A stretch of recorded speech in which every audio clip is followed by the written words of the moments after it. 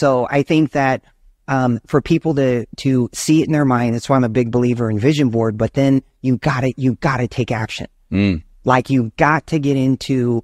I think that's where the rubber hits the road with a lot of entrepreneurs talking about right entrepreneurship is people want this and they say they want this and but then it's like yeah but and then they start coming up with all these excuses well but i'm working oh i got a kid well i've got this or that or whatever and then you got to get around communities that or or uh, events or whatever where there's other people that are actually have are busier than you Totally. and open and you go oh my god man this guy drives three hours a day for work has to get up at two o'clock to just to get a workout in and he's done 10 deals and i've got a guy like that i, I mentor right now Oh. he's done 10 deals in three months right Yeah. and so what's your excuse kind of thing so i think you i think the more that we're exposed and around people that are doing big things um that that that nucleus right Totally. the core group it it it pulls the best out in us Yeah. really does